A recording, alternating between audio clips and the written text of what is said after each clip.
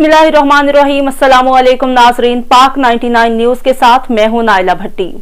नज़र डालते हैं आज की कुछ अहम खबरों पर। Hyderabad Mahboob Hussain Buzdar, divisional bureau chief Hyderabad Tando Jam में बदमनी रुक न सकी। अब आवाम घरों में महफूज नहीं टालपुर गोठ खासखली मोहल्ला में चोरी की वारदात।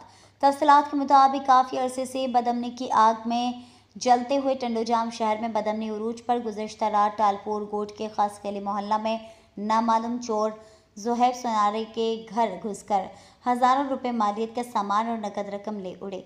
घर वालों ने सुबह टंडोजाम थाने पर रिपोर्ट दाखिल करवाई। पुलिस ने जाए वारदात पर पहुंचकर मुआयना किया। याद रहे कि टंडोजाम में कुछ दिन कबल बढ़ती हुई बदमनी के सबब शहरियों के मुतालबे पर एस एच ओ हटाकर दूसरे एस एच ओ को मुकर किया जाए।